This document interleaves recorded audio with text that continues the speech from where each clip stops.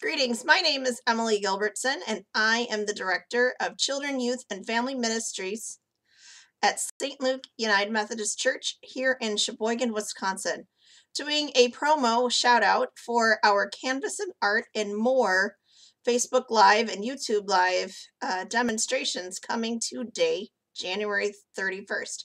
If you would like to participate, you can email me at emily at stluke.net to get the links or check our Facebook page um, uh, for the online information. This is a as you come type of thing. I am not a professional artist, but with our social distancing and things needing to stay in place, here's a creative way to um, to share in God's creativity and your creativity together as a family and as kids and as youth no matter your age. So hope you have a lot of fun. Take care.